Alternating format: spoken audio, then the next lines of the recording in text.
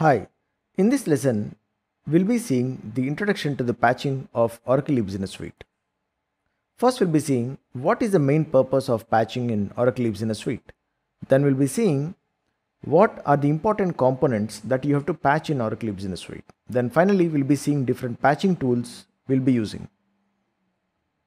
So first of all, what is the purpose of patching Oracle eBusiness Suite? Just like patching Oracle database or any of the Oracle products such as Fusion middleware, the important purpose is the first thing is to apply any latest product enhancements. For example, if there is a new feature that is released in Oracle Business Suite and the customer wants to get that feature, there might be a patch which is related to that specific feature. And to also maintain the Oracle certified and supported product version. For example, I am right now using 11g database and I want to actually ensure that I'm going to apply the latest version of database or upgrade my database. Or let's say for example, there is Oracle Business Suite 1206 and it is not supported anymore. So what I have to do is I have to basically upgrade my release update for example or upgrade my eBusiness Suite version. And the other important reasons is security and critical updates there might be different security bugs which are there and Oracle every quarter or randomly they release different security patches or critical updates. And all these all these critical patch updates or security fixes have to be applied. And then one-off bug fixes. The one-off bug fixes are very common in any application not only Oracle. So Oracle Business Suite might also require one-off bug fixes. For example the technical team or the functional team will say that they are unable to work on specific form or the report which they are trying to run is having issues. And when you check Oracle support that is support.oracle.com, you might find out that this specific fix, this specific bug can be fixed by applying a patch. Usually it's called a one-off patch and that specific bug fix should be applied in order to resolve that issue. And then finally upgrades. As I told before, it can be database upgrade or it can be Oracle eBusiness Suite release update, for example, or version to version, for example, 12.0 to 12.2, for example. During this, you'll be applying several patches to do these upgrades. And finally, for interoperability or integration, for example, I'm using, let's say, 12c database with my 12.2 eBusiness Suite, but I have to now upgrade my database to 19c. To do that, first what you have to do is you have to apply the interoperability patches on 12.2 which are related to 19c database. This, these, interoperability patches will ensure that Oracle Business Suite runs smoothly without any issues even with 19c.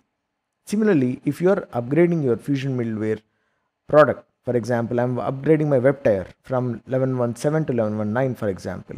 And when I'm doing that, Oracle will ask you to apply certain interoperability patches with the latest versions of your technology stack, that is database, Fusion middleware, etc.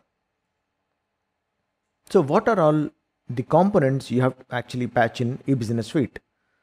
The eBusiness Suite application by itself, that is your application tier, eBusiness Suite, should be patched by using a tool called ADOP. And uh, ADOP is applicable for the version 12.2.x.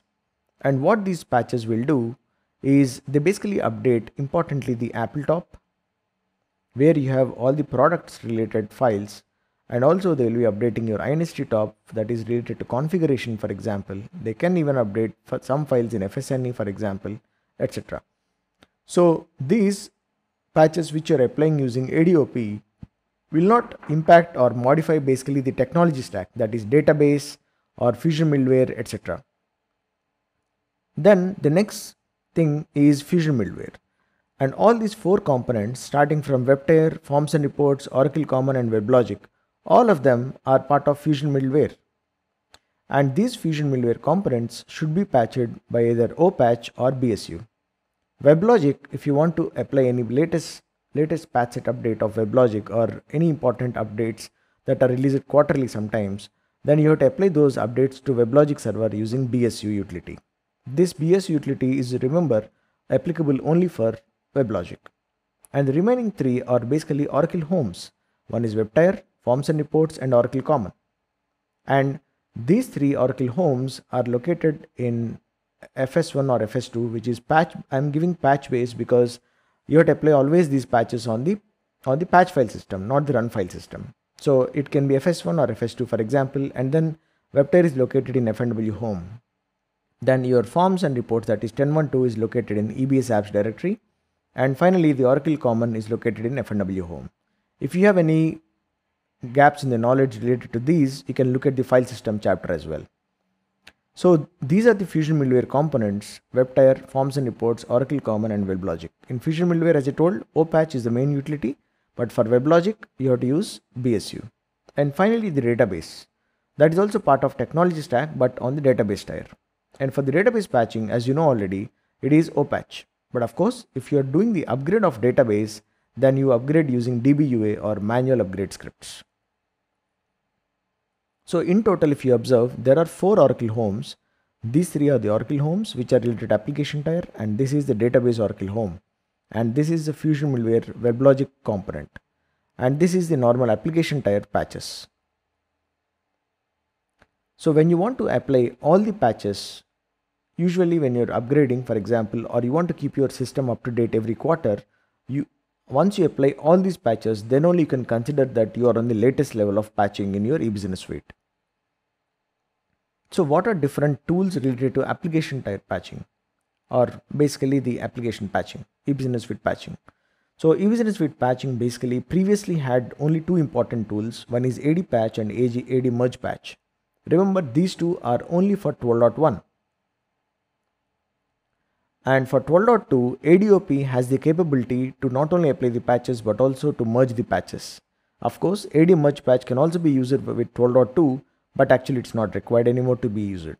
So the important lesson you need to learn here is AD patch, AD merge patch, use, it, use them only for 12.1 and from 12.2 we'll be using only ADOP, ADOP utility that is AD online patching utility to apply all the patches of the application tier.